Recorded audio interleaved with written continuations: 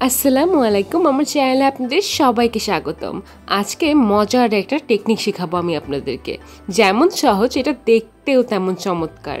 এবং এই টেকনিকের মাধ্যমে আমি আমার পুরানো একটা ডায়েরির চেহারাই বদলে ফেলব। তো চলুন, এবার আমরা মূল কাজ শুরু করি। সাথেই থাকুন।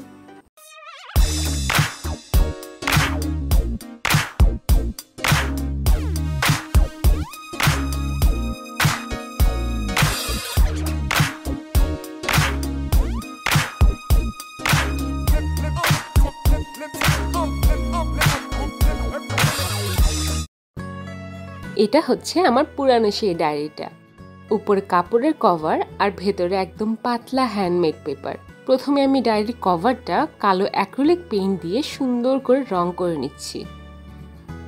ফেভিক্রিল অ্যাক্রিলিক রংটা বেশ লিকুইড তাই আমি এটাই প্রথমে ব্যবহার করছি।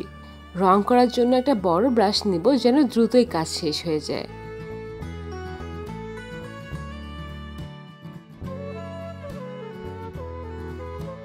যেহেতু এটা একটা কাপড়, তাই প্রথমবার অনেক রং শুষে নিবে।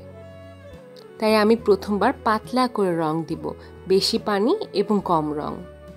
পরের লেয়ারটায় ভালো করে রং দিয়ে নিব।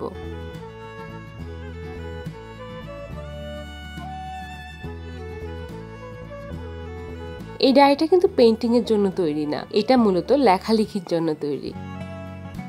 আমার এরকম ধরনের ডায়েরি খুব ভালো লাগে আর ইচ্ছে হচ্ছিল নতুন কিছু চেষ্টা করার। তাই এই ডায়েরিটাতে ছবি এঁকে অন্যরকমভাবে সাজানোর ইচ্ছে হলো। ভেতরে কি আছে সামনেই দেখাবো।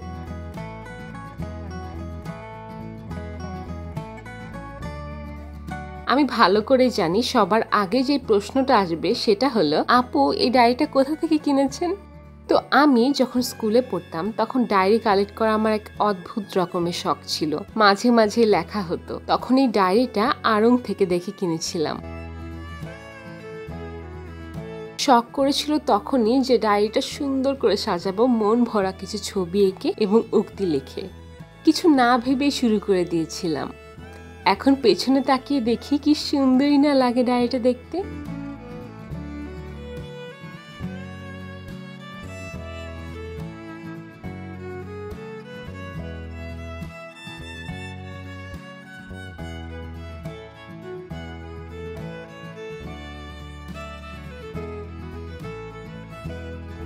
তো আমি আজকে যে টেকনিকটা ব্যবহার করে ডায়েরিটা রং করব এটা টেক্সচার থাকা অবস্থায় সুন্দর করে ফুটে ওঠে। এই ডায়েরিটার উপরের অংশ কাপড় দিয়ে বানানো, যার কারণে এটার উপর কাপড় কুচকিয়ে টেক্সচার তৈরি হয়েছে।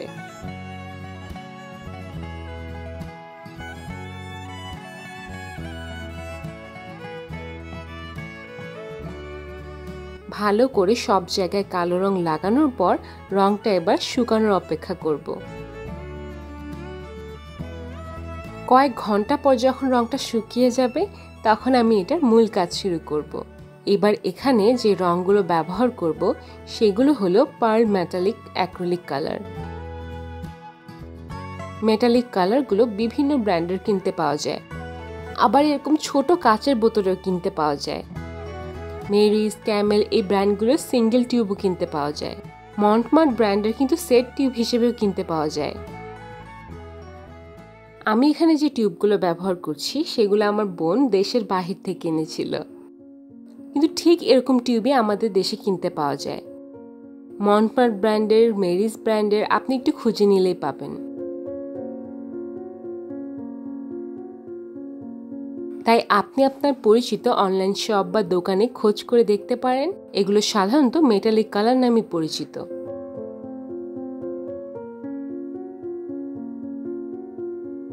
এই টেকনিকে রং লাগানোর ব্যাপারটা কিন্তু ব্রাশ দিয়েও করা যায়।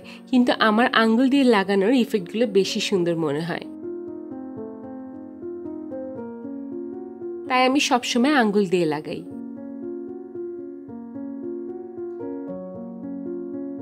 এভাবে আস্তে আস্তে ট্যাপ করে আঙ্গুলে রং লাগিয়ে নিতে হবে। তারপর খুবই হালকা করে টেক্সচারগুলোর উপর আঙ্গুল দিয়ে রং লাগাতে হবে। রং শেষ হয়ে গেলে বারবার আবার রং নিয়ে নিলেই হবে। আপনারা দেখতেই পাচ্ছেন কি সুন্দর দেখাচ্ছে টেক্সচারগুলো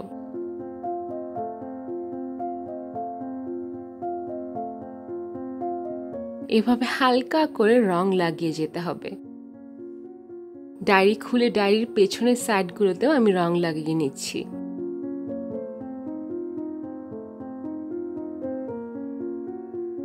এই ইফেক্টগুলো আনার সবচেয়ে মজার অংশ হচ্ছে এক একজনেরটা কিন্তু এক এক রকমের হয়। আপনার টেক্সচার আলাদা হলে বা আপনার রং লাগানোর গতি আলাদা হলে ইফেক্টগুলো দেখতেও অন্যরকম লাগে। একবার এই টেকনিক আপনি মজা পেয়ে গেলে বারবার এটা নিয়ে কাজ করতে ইচ্ছা হবে। আর শুধু এই মেটালিক রঙগুলোই যে আপনি ব্যবহার করতে পারবেন তা না, আপনি অন্য রং দিয়েও এটা এক্সপেরিমেন্ট করতে পারবেন। তাই এই টেকনিকটা অ্যাবস্ট্রাক্ট পেন্টিংয়ে দারুণ কাজ করে। একইভাবে আমি মেটালিক সিলভার রংটাও লাগিয়ে নিচ্ছি। এই রংগুলো লাগালে কেমন মেটাল মেটাল একটা ভাব আসে, তাই এগুলোকে মেটালিক কালার বলা হয়। আর মুক্তার মতো সুন্দর স্মুথ শাইনি ভাব থাকে বলে এটাকে পার্ল মেটালিক কালারও বলা হয়।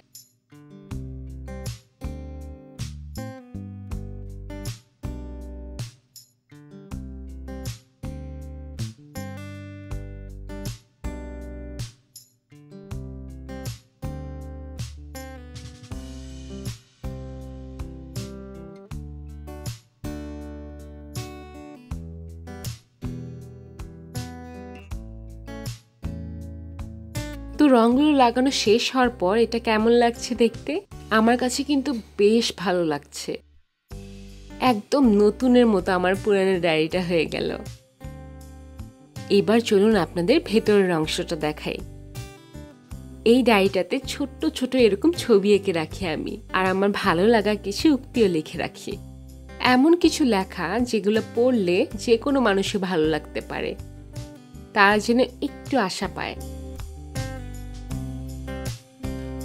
যখন আমি এই ডায়েরিটা বানাই, আমার মনে অদ্ভুত একটা ইচ্ছা ছিল, জানেন? আমি মনে মনে ভেবেছিলাম, যেদিন এই ডায়েরিটা শেষ হবে, সেদিন আমি অপরিচিত এক জায়গায় এই ডায়েরিটা রেখে দিয়ে আসব। আর সাথে থাকবে হাতে লেখা ছোট্ট একটা চিঠি। পরে যে এই ডায়েরিটা পাবে, এটা তার হয়ে যাবে। সে ডায়েরিটা খুলে লেখাগুলো পড়লে যেন তার মন ভালো হয়ে যায়। সে জানলো না বা চিনল না আমি কে, কিন্তু ডায়েরিটার কথাগুলো রয়ে গেল তার কাছে। কিন্তু ডায়েরিটা না শেষ করতে পারলাম আর না এটা কোথাও ফেলে দেওয়ার সাহস পেয়েছি আমি।